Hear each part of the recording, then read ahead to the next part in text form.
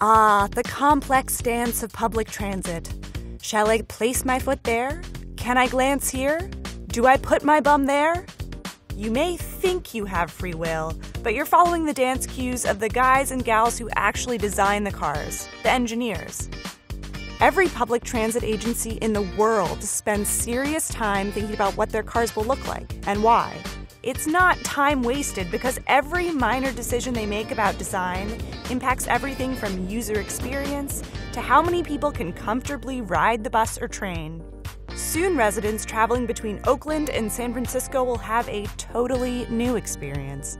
The Bay Area Rapid Transit Agency, known affectionately or unaffectionately as BART, will be rolling out new rail cars.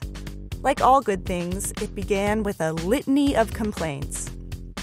The single most common comment we got was people wanted to see adequate seating, so that became a guiding principle behind our design.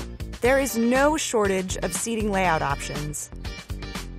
New York City is all about bench style. Personal room, nil, but at least you can squish more people in. BART went with the opposite.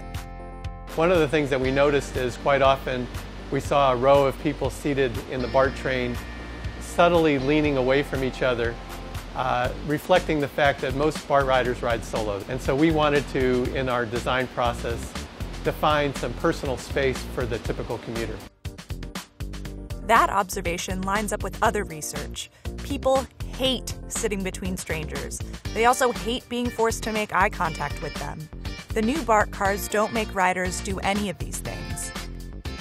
In fact, they were designed with different sections for different types of riders in mind for short trippers, for long haul commuters, for cyclists, for those in wheelchairs.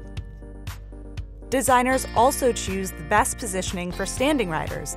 BART has new poles by the door. Hang on, short people. There's one more door per car now, so maybe riders will be less paranoid about missing their stop. BART hopes the redesign will allow more people to ride on the cars. It will also be an expanded size to accommodate the ever increasing uh, passenger loads that our trains have. Every train will be a 10 car train that's going to and from San Francisco during commute periods. Happy squeezing, riders!